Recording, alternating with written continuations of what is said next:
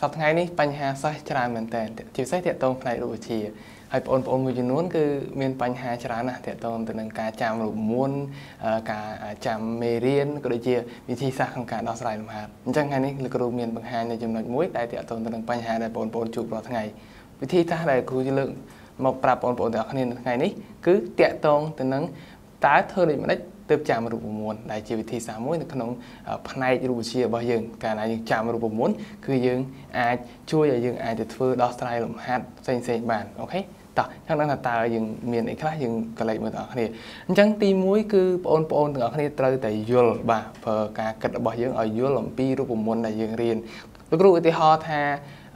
រូបមន្តមួយគឺនិយាយពីច្បាប់ញូតន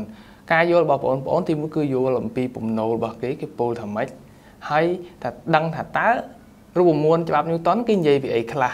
ណ៎មាន S ស្មើ MA អញ្ចឹងមានថានិយាយតាក់ទងទៅនឹងកម្លាំងគូបជាមួយម៉ាស់ហើយនឹងសន្ទុះបាទកាលណាមានកម្លាំងទៅលើអំពើពើលើអង្គធាតុវាអាចធ្វើអង្គធាតុនឹងមានសន្ទុះអីចឹងទៅហ្នឹងការយល់របស់បងប្អូនទៅលើ concept នៃមេរៀនផ្នែករូបវិទ្យានីមួយៗហ្នឹងអញ្ចឹងចំណុចទី1គឺបងប្អូនយល់ឲ្យបានច្បាស់សិនបើអត់យល់ទេ គឺយើងពិបាកចាំហើយហើយចំណុចទី2បន្ទាប់ពីបងប្អូនយល់ហើយគឺបងប្អូនត្រូវទន្ទិញ ការទន្ទិញវាធ្វើឲ្យយើងឆាប់ចាំពីព្រោះថាការទន្ទិញគឺយើងនិយាយមិនដំបូងយើងនិយាយធម្មតាមួយមួយមួយតមកយើងនិយាយកាន់តែលឿនទៅអានេះលក្ខណៈថាការទន្ទិញគឺនិយាយគឺសោតកាន់តែលឿនទៅលឿនទៅមានថាបងប្អូនគាត់អាហារមាត់មកចេញជារូបមន្តមួយតែប៉ុណ្ណោះអញ្ចឹងមានអីតែពិបាកត្រូវចាំមិនចាំទៀតគាត់បងប្អូននិយាយមក e ស្មើ v លើ a អញ្ចឹងអូបងប្អូនចាំបាត់ហើយនឹងថា e ស្អីគេចរន្តហើយ v តង់ស្យង air resistance អាហ្នឹងគឺជាកលឹះមួយដែលជួយឲ្យបងប្អូនអាចដោះស្រាយលំហាត់បានអញ្ចឹងទិញវាឲ្យច្រើនរូបមន្តហើយយើងមិនមែនថាទិញម្ដង4ដល់20គឺយើងទិញម្ដងមួយម្ដងមួយតែធ្វើវារាល់ថ្ងៃចប់ពី មេរៀនមួយចប់ពីរូបមន្តមួយហើយយើងចូលទៅដល់រូបមន្តមួយទៀតអាហ្នឹងគឺយើងសំរាល់ថ្ងៃគឺយើងឆាប់ចាំមែនតើបើយើងអត់បានធ្វើហ្នឹងពិបាកក្នុងការចងចាំ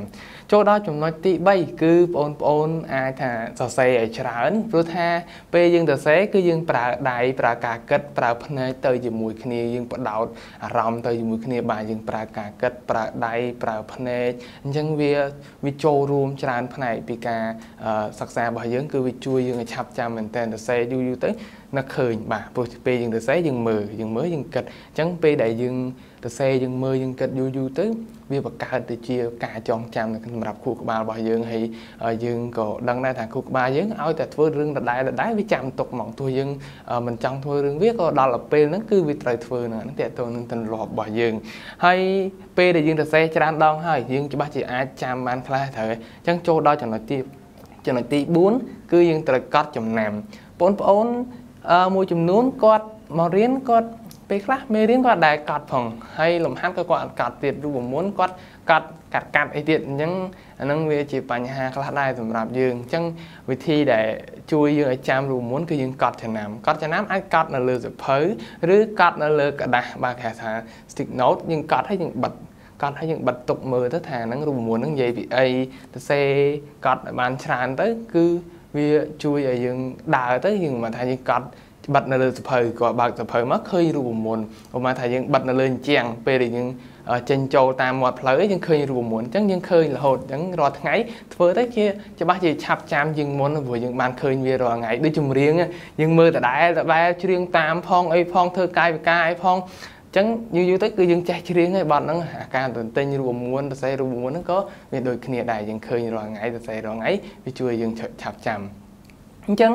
យើងមានចំណុចមួយទៀតដែលសំខាន់វាលើសពីអា4ខាងលើចំណុចចុងក្រោយគឺបងប្អូនត្រូវតែអនុវត្តដោះស្រាយលំហាត់ឲ្យច្រើនពីព្រោះថាការដោះស្រាយលំហាត់ យើងទៀមទាយើងយល់បាតុភូតយល់មេរៀនហើយបើសិនណាជាយើងអត់យល់អត់ចាំយើងអាចបកត្រឡប់ទៅមើលមេរៀនឡើងវិញយើងអាចទៅមើលរូបមន្តឡើងវិញដឹងថាអូរូបមន្តនេះយើងអត់តន់ចេះណាអញ្ចឹងយើងអាចបកទៅមើលឡើងវិញយើងអាចចាំឡើងវិញបានហើយកាលណាយើងធ្វើលំហាត់ទៅវាចូលក្នុងចំណុចខាងលើដែរយើងយល់យើងសរសេរដដែលដដែលបានច្រើនទៅគឺវាជួយឲ្យយើងឆាប់ចាំមែនទែនហើយនៅមានវិធីច្រើនទៀតតែគ្រូយកអាចំណុច តែ5ហ្នឹងទេមកសំខាន់ឲ្យតែបងប្អូនធ្វើបាន5ចំណុចហ្នឹងច្បាស់ជាជួយឲ្យបងប្អូនចាំរូបមន្តច្រើនជាងមុនហើយ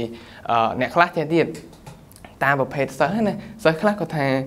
តតែយល់ហើយចាំអាហ្នឹងគ្រូក្បាលគាត់ល្អហើយសិស្សខ្លះទៀតគាត់ថាខ្ញុំតអន្ទិញអន្ទិញឲ្យច្រើនហ្នឹងមិនចាំហើយសិស្សមួយចំនួនទៀតគាត់តាមថាចេះខ្ញុំអន្ទិញអត់ស្អីចាំទេដល់អសេអញ្ចឹងវាបែបផែនរបស់យើងគឺខុសៗគ្នាអញ្ចឹងយើងអាចថា បើយើងអ្នកណាដែលប្រកែខាងណាមួយយើងយកវាមក apply ហើយយើងថែមអាផ្នែកផ្សេងផ្សេងទៀតទៅដើម្បីយើងកាន់តែច្បាស់ជាងមុនកាន់តែខ្លាំងជាងមុនអញ្ចឹងថ្ងៃនេះគ្រូមានតែ5ចំណុចហ្នឹងទេសម្រាប់ចែកជូនដល់បងប្អូនហើយសង្ឃឹមថាបងប្អូនទាំងអស់គ្នាដែលជួបបញ្ហាខាងលើបាទ តកតងនឹងការផ្លេចរូបមន្តហ្នឹងយកទៅអនុវត្តហើយ